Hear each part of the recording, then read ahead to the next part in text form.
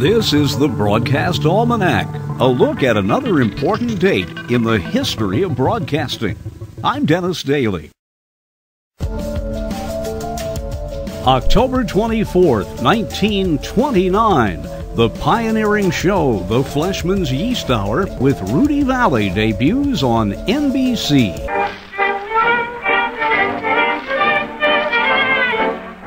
To everyone, everywhere, my man means Fanny Brice.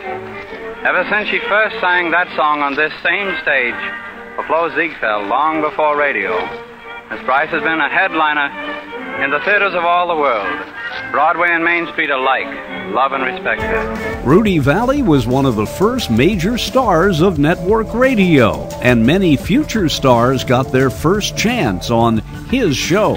And that's the Broadcast Almanac for October 24th. I'm Dennis Daily.